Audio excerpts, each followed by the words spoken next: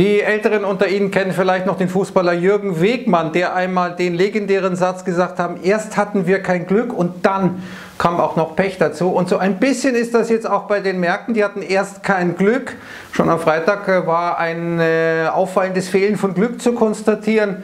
Und jetzt kommt auch noch Pech dazu. Und das, obwohl Monsieur Macron die Wahlen in Frankreich gewonnen hat. Und das schwebte ja so ein bisschen als Damoklesschwert über den Märkten, auch wenn sich zuletzt immer klarer abzeichnete, dass äh, Le Pen wohl diese Wahl verlieren wird. Damit eine Spaltung, eine Aufspaltung der Eurozone einigermaßen vom Tisch ist. Und so ist es dann auch gekommen. Macron etwa 58 Prozent der Stimmen mit äh, einem doch sehr klaren Sieg. Und äh, da waren dann schon Agenturmeldungen wie von Reuters draußen, die gesagt haben, ja, das wird die europäischen Märkte beflügeln, wenn Macron jetzt hier so klar als Sieger hervorgeht. Aber nein, das ist nicht der Fall. Wir sehen die Futures im Minus, denn es kommen zwei Dinge jetzt zusammen. Die Märkte haben nach 25.327 Jahren realisiert, dass die Fed es wirklich ernst meint.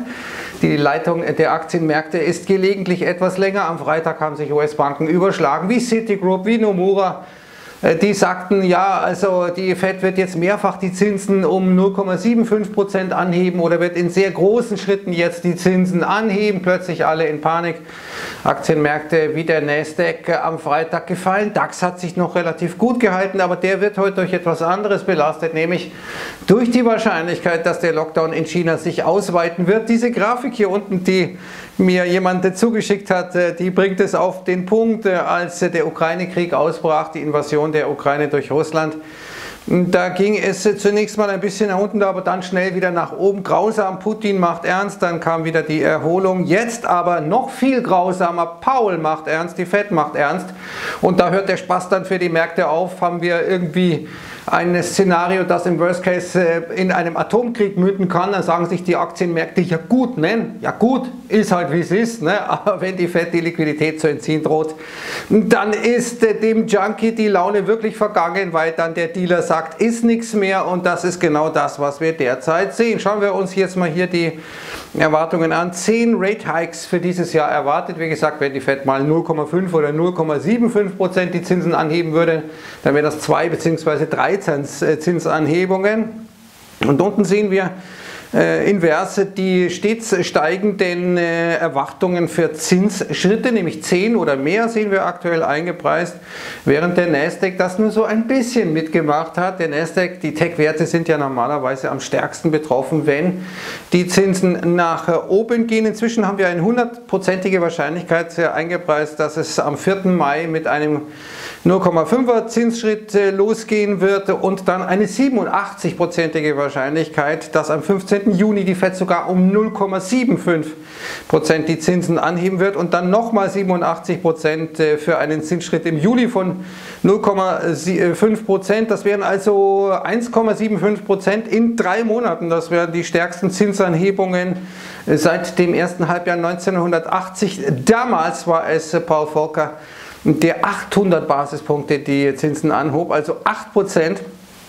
Da sieht man schon, äh, da ist was in der Mache und damals wie heute ist es die Inflation, die die FED dazu zwingt und das Lustige ist, dass sie glaubt, äh, eben hier ein Soft Landing äh, irgendwie gestalten zu können. Hier unten sehen Sie eine Grafik, die zeigt, wie die FED da in einem Flugzeug sitzt, das ungespitzt in den Boden äh, Rahmen wird äh, und glaubt, man könnte hier ein Soft Landing produzieren. Das ähm, zeigen die Aussagen von Jerome Powell, der sagt, ja, der Arbeitsmarkt ist too hot, der ist zu heiß. Er glaubt also, dass dieser Arbeitsmarkt so stark ist, dass selbst ein Bremsen der Geldpolitik durch die Fed eben äh, nicht zu einer großen Arbeitslosigkeit führen wird. Paul irrt sich, es sind Akademiker weitgehend, die wenig Praxiserfahrung haben, diese Fed-Mitglieder. Einer, der etwas mehr Praxiserfahrung hat, ist John Roberts, ein äh, ehemaliger äh, Fed Economist, also jemand, der der Fed Daten aufbereitet und analysiert hat, der sagt, die Fed müsste jetzt eigentlich die Zinsen über 4% anheben. Wenn sie es nicht tut, dann wird sich die Erwartung der Konsumenten verstetigen und die Inflationserwartung nämlich und die Inflation über 3% bleiben dauerhaft und genau das ist das, ähm, ist das Motiv, warum die Fed hier handeln muss. Hier sehen wir mal wie immer praktisch Fed Hiking Cycles mit Deleveraging Events enden, also Enthebelungsevents. Wir sehen das oder haben gesehen ja besonders äh, jetzt im Corona-Crash, als die Notenbanken all-in gegangen sind, sind auch die Konsumenten all-in gegangen, sind vor allem die Investoren all-in gegangen, gehebelt, massiv gehebelt. Hurra, hurra, hurra, Liquidität, da mag die Wirtschaft absaufen, wie sie will. Wir spielen die, äh, den Drogenrausch, weil die Fed eben und andere Notenbanken massiv diese Drogen spendiert haben. Und wenn dann dieser Drogenentzug kommt, dann ist die Laune ein bisschen schlecht und viele äh, die äh, werden dann auffällig, die sind so mitgeschwommen auf dieser Welle, aber wenn dann das Wasser weg ist, dann sieht man, dass die Unterhose fehlt und das ist genau das Problem, das jetzt viele haben.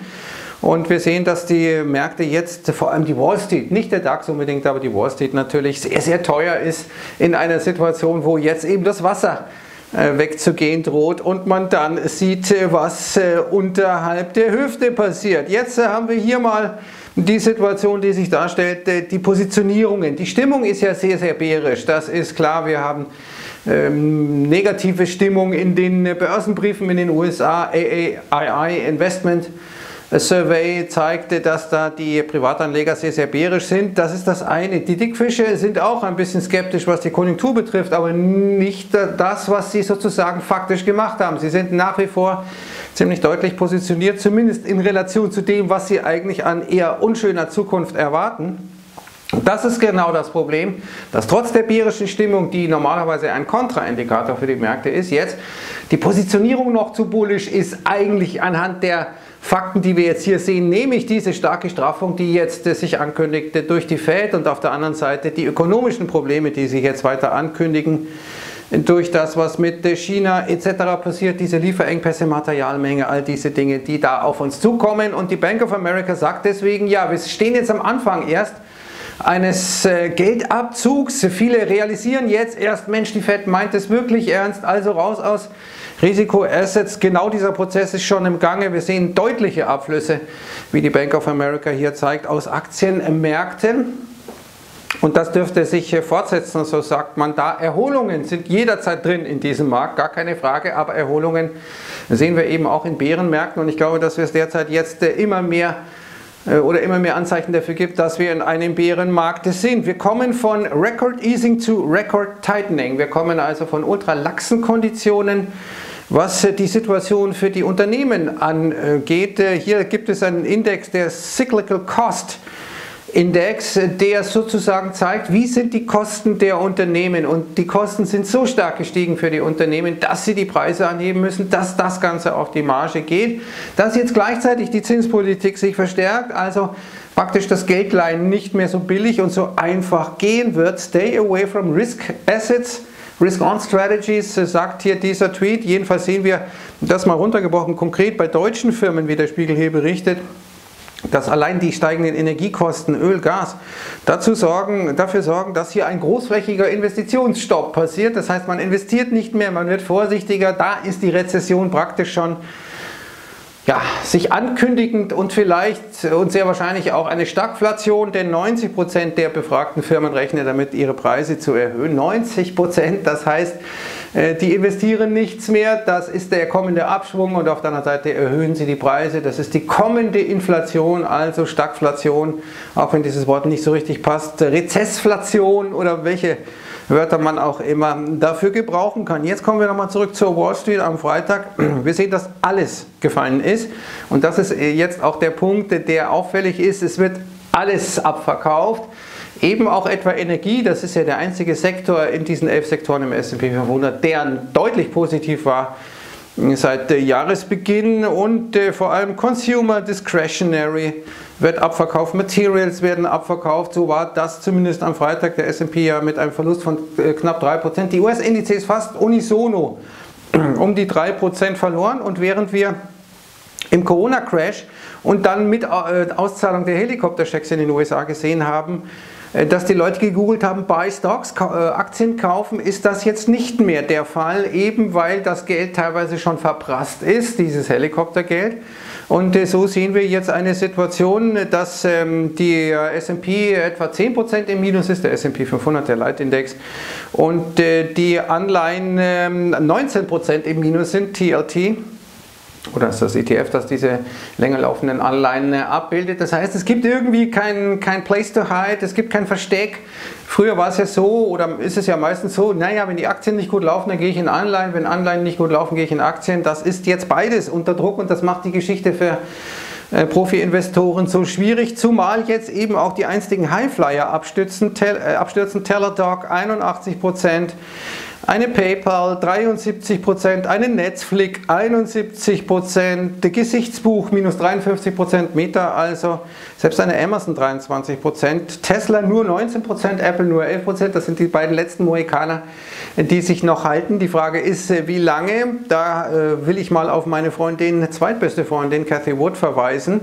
Und da ist es ja interessant, die hat ja ihre Performance verX-facht. Äh, die ist äh, ja letztendlich ein Symptom und ein Symbol dieser Notenbankenblase, die da erschaffen wurde. Jetzt äh, sehen wir, dass das Wasser abläuft und Frau Cassie vielleicht da nicht adäquat angezogen ist in diesem Ambiente. Es geht runter, der, äh, ihr ARC Innovation hat 45% verloren. Dennoch stecken die Leute massiv Geld in diesen ARC. Und das ist etwas Typisches. Als das Ding nach oben geschossen ist, waren wenige dabei. Dann kommt der Erfolg, kommt der Erfolg. Es fließt Geld rein, die kaufen viel zu hoch ein. Diese Leute verlieren jetzt massiv Geld. Und das ist äh, sozusagen das Problem an der Geschichte. Gleichzeitig eine Cassie Wood, die sagt, ja, ich erwarte 50% Rendite im, Monat, im, im Jahr. Äh, dann Kursziele etwa für Tesla ausruft von 4.600 äh, Dollar, gleichzeitig aber Tesla-Aktien verkauft hat, während sie sagt, ich erwarte einen Kurs von 4.600 Dollar. Aber die gute Dame ist religiös veranlagt und glaubt, denke ich, an das, was sie da sagt. Aber für diejenigen, die dem folgen, die fliegen richtig auf die Nase und da wird richtig Geld verbrannt. Das ist möglicherweise der erste Kollateralschaden äh, des Platzens der Blase. Und Ihr Freund Elon Musk, ähm, der will jetzt äh, ja Twitter übernehmen und offenkundig sind die Herrschaften, die im Management sitzen bei Twitter, richtig unter Druck, eben vor allem durch die Anteilseigner, durch Aktionäre, die sagen, Mensch, dann müsst ihr, wenn schon, überhaupt eine Alternative präsentieren. Ich sage, dass dieses Ding sehr, sehr wichtig ist. Diese Twitter-Übernahme durch Elon Musk würde bedeuten, dass dann Donald Trump wieder ins Geschäft besser kommt. Mit Twitter könnte also direkt wieder mit den Leuten äh, kommunizieren, nachdem seine Truth-Plattform ja ein ziemlicher Rohrkrepierer ist wäre er da sicherlich ähm, wieder mit dabei, hätte dadurch wieder mehr Einfluss auf die öffentliche Meinung. Jetzt kommen wir zu einem äh, zweiten Punkt, äh, ich hatte Herrn Wegmann äh, zitiert, erst kein Glück und dann Pech und das Pech sehen Sie hier, das ist China. Hier sehen wir, dass der Yuan weiter abwertet. Man munkelt jetzt, dass Peking, dass die Bank, People's Bank of China einen großen Abwertungsschritt bald machen wird. Der Unterschied zur Fed-Geldpolitik ist ja klar. Wir haben auf der einen Seite die Fed, die sagt, wir werden massiv die Zinsen anheben, Bilanz reduzieren. Wir haben auf der anderen Seite eine EZB, äh, die derzeit permanent gegen die Wand läuft, ohne zu merken, dass sie gegen die Wand läuft. Und wir haben eine Bank of Japan, die schon gegen die Wand so geknallt ist, dass es äh, Hilfeanrufe nach Washington gegeben hat. Helft uns, der Yen kackt ab. Wir müssen etwas tun. Könnt ihr nicht intervenieren? Die äh, Amerikaner sagen, nee, lass mal. Und jetzt kommt eben noch China mit dazu, die ja auch tendenziell ihre Geldpolitik lockern und nicht strafen. Wir sehen, dass die Aktienmärkte starke Verluste heute verkraften mussten in äh, China, aber auch die Anleihemärkte. Da ist richtig äh, was über den Jordan gegangen. Wir sehen jetzt die meisten Todeszahlen in Shanghai, äh, Shanghai seit jetzt Corona der Fall ist in dieser Stadt.